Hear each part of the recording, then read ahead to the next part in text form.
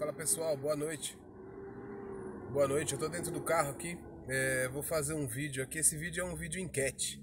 É, para vocês que são inscritos do canal, vocês devem ter acompanhado aí que a gente fez uma série é, anterior dos vídeos. É, foi uma série de vídeos ensinando como a fabricar um conjunto de forma para blocos de concreto. E aí, dentro desse conjunto, teve forma para bloco, forma para canaleta, forma para meio bloco.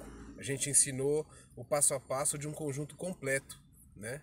E agora a gente vai fazer a gente vai fazer mais um vídeo, mais uma série de vídeos ensinando um passo a passo de uma outra forma.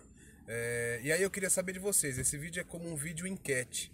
É, vocês querem, eu vou pedir para vocês, os inscritos e as pessoas que estão assistindo uh, esse vídeo, que coloquem nos comentários aqui embaixo. Vocês preferem assistir uma série com os vídeos para uma forma de unibloco, bloco de encaixe, ou vocês querem para uma forma de pavimentação sextavada?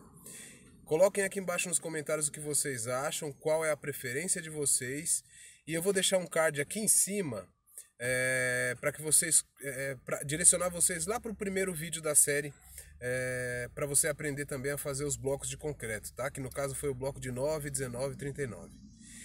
E reiterando aqui o pedido, se inscrevam no canal. Uh, quem já é inscrito, não deixa de dar um like. Dá um like pra gente aí, isso, isso faz a gente ter mais ânimo para poder botar mais conteúdo para vocês, tá bom? Então escreve aqui nos comentários o que vocês preferem forma para bloco de encaixe, tipo uniblock, ou uma forma para pavimentação sextavada. Esse vai ser o tema da nossa próxima série de passo a passo aí, tá bom? Muito obrigado, um abraço, boa noite a todos vocês.